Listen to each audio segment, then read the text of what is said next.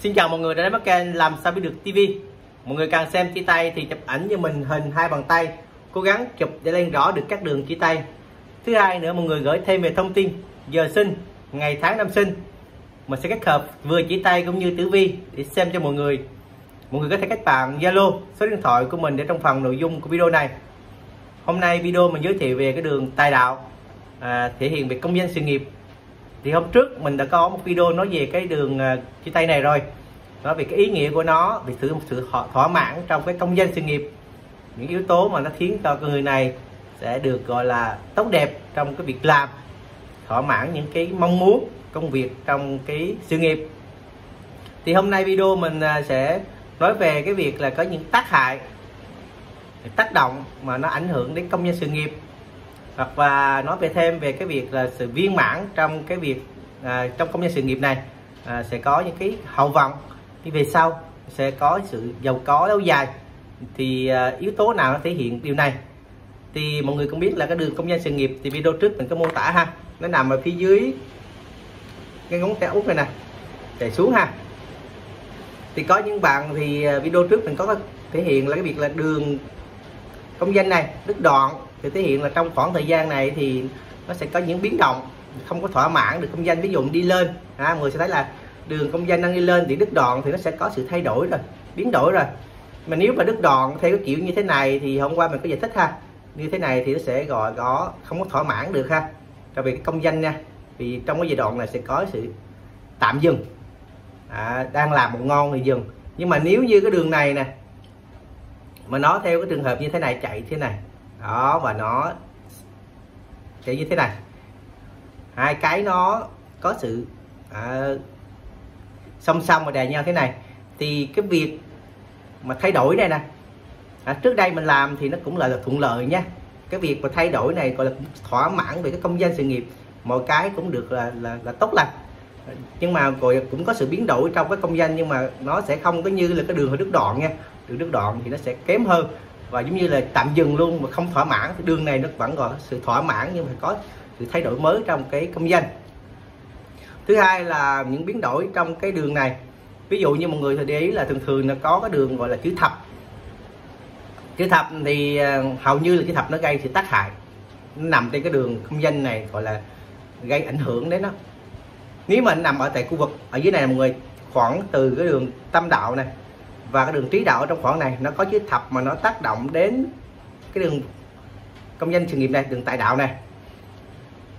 Thì đây là dấu hiệu của việc là nó sẽ có sự cản trở mà cái việc này nó ảnh hưởng thường là nó do điện hay là cháy nổ. Cho nên là trong trong công danh mà nếu mình thấy có dấu hiệu à, chữ thập ở đây thì à, cẩn thận ha. Việc này nó có thể là ảnh hưởng vì những cái dấu hiệu mà nó tác động trên đường công danh này vừa tác động gây hại cả. Còn nếu như mà nó nằm ở trên vị trí liên quan đến gò thái dương này mà chữ thập xuất hiện trên này à, thì cái việc này đó là sự do cái việc của người cạnh tranh gây những tác động xấu khiến cho công dân sự nghiệp nó sẽ có những bị trì trệ đi. Mà nếu như nằm ở vị trí này thì ok mọi người ha. Gọi là khi mà có những dấu hiệu này thì trong những khoảng này cố gắng giữ gìn sẽ có tác động đến nhưng mà sẽ có mình sẽ vượt qua được hay không thì mọi người thấy là nó có cái đường đi lên. Cho nên là trong khoảng thời gian này nếu thấy, thấy xuất hiện những cái dấu hiệu này thì ờ, báo hiệu cái việc là nó sẽ có một tác động xấu và ngăn cản công gian sự nghiệp khiến cho bị trì trệ đi. À, như mình nói là hầu như những tác động này nó xấu nó ảnh hưởng đến cái công gian.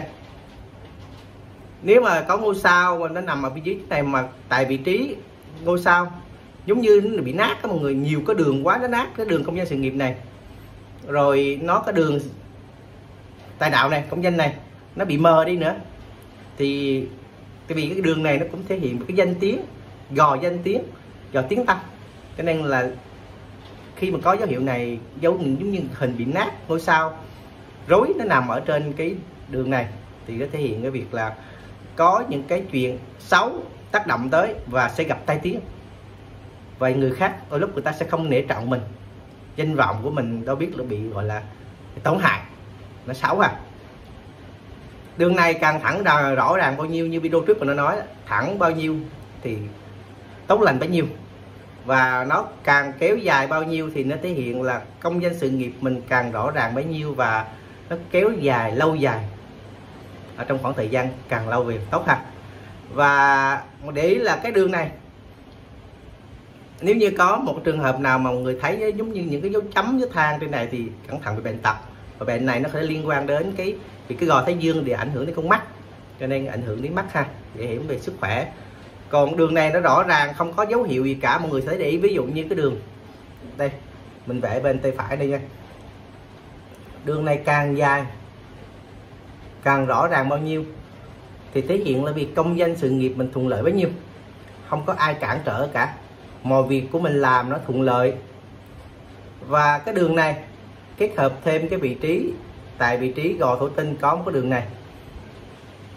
Thì càng tăng tăng thêm cái sự sung mãn, tăng thêm cái năng lượng, tăng thêm cái tài lộc. Về cái công danh, về công việc mình làm nó sẽ thu nhập cao. Bên cạnh đó mà nếu như có thêm tại khu vực gò thủy tinh này, mọi người sẽ thấy có cái đường đi lên nữa gọi là văn, tài lộc văn tài lộc này kết hợp ba cái yếu tố này trong cái bàn tay.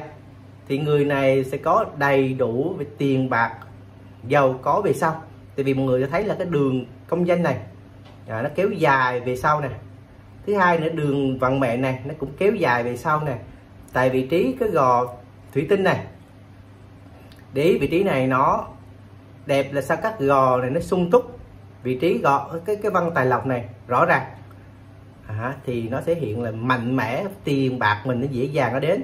Mọi người chú ý ha cả ba đường này phải nó phải rõ ràng và không có tác động xấu.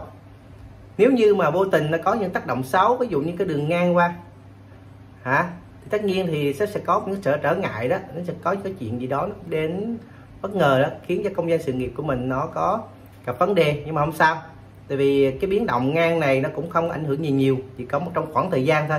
Miễn sao nó nằm nó cái đường này. Biển sao cái đường này nó phải rõ ràng hơn những cái dấu hiệu cắt ngang này. Thì tác động này nó mang đến cho bản thân người này. Chỉ là bình thường chỉ nhẹ nhàng thôi. Nó không có lớn lắm. Còn trường hợp một người sẽ thấy là cái nếu mà trên đường tâm đạo ở đây đường tâm đạo ha mà nó có cái đường mà nó tác động nó chạy qua cái đường vận mệnh á à, đường à, đường công danh này à, đường tài đạo này cắt ngang qua thì có thể đây là dấu hiệu của cái việc là tác động của À, cha mẹ anh em hoặc là tác động của vợ chồng con cái mà nó tác động và nó ảnh hưởng đến cái công danh sự nghiệp. Mà miễn sao mọi người thấy là người nào sẽ có được cuộc sống hậu và hạnh phúc đâu có thường thì cái đường văn này càng về sau nó càng rõ ràng. À dĩ nhiên là anh này làm nhiều nè à, anh làm tốt nè mọi thứ là trong công danh của anh được thỏa mãn nè và cái đường vận là thể hiện cái con đường đi á cái sự nghiệp à, về phía trước á, nó rất là rõ ràng cả về cái công danh sự nghiệp này cả về con đường phương hướng đi, những cái định hướng mình là không có sự cản trở và nó sẽ mang về tài lộc ở đây. Nhớ là các gò này cần phải được hồng hào và sáng thì nó đẹp ha. Đừng có tối tâm nha mọi người nha, đừng có tối tối nó cũng ảnh hưởng ha. Thứ hai nữa, đừng bằng, quan trọng là cái gò này. Gò này cần phải mềm mại và gò này cần phải nhô cao thì nó sẽ thể hiện được là cái danh tiếng và cái danh vọng được nhiều người biết đến. Kiểu như là trong công danh của mình làm nè, và được nhiều người biết đến và nhiều người trọng vọng yếu tố này mà nó càng thể hiện mạnh thêm, nếu như trên cái khu vực gò mộc tinh này, mọi người thấy là gò mộc tinh nhô cao, đầy đặn nè. Gò thái dương nhô cao, đầy đặn nè. Hồng hào nè. Gò thủy tinh nó cũng nhô cao, đầy đặn hồng hào. Gò này bằng nha, gò này đừng có cao. Đường gò cái đừng có cao lắm, đừng có cao giống như cái gò này thì vì khi mà cái gò thổ tinh này nó cao á giống như những cái gò này á, thì người này sẽ rất là mệt mỏi về đầu óc. Tâm trí nhiều bấn loạn suy nghĩ nhiều lo âu nhiều. Còn cái gò thổ tinh này nó vì nó sẽ bằng á thì sẽ tốt hơn. Tốt hơn vì sao? Cuộc đời nó sẽ bằng phẳng hơn. Nó không nó nó sẽ ngược hơn so với những cái gò này. Những cái gò này cần phải cao thì nó mới đẹp. Vì ví dụ như cái gò này cao thì cũng thể hiện với tham vọng. Anh này cũng có mong muốn được quyền lực thể hiện người này người kia và cái lời nói anh ra có trọng lượng. À, anh có ý chí có nghị lực mạnh mẽ. Các gò này có cao nè thì đẹp nè. Nhưng mà cái gò này cao không được mọi người ha. Tại vì cái gò này gò thiên quan nó đời sống. Mà đời sống cao quá thì suy nghĩ nhiều sầu tư nhiều lo âu nhiều. Cho nên là để xem về cái công danh sự nghiệp á thì mọi người cố gắng là nhìn về cái đường này ha. Đường tài vận này nha đường tài đạo này. Có những thật ra cái đường này có nhiều người cái cái sách nó ghi tài đạo đường thái dương đường thành công đủ thứ dài hết đủ tiếng tay đường hết nhưng mà nó thật ra nó đường này nó mô tả cái việc là công danh sự nghiệp mình có được thỏa mãn hay không?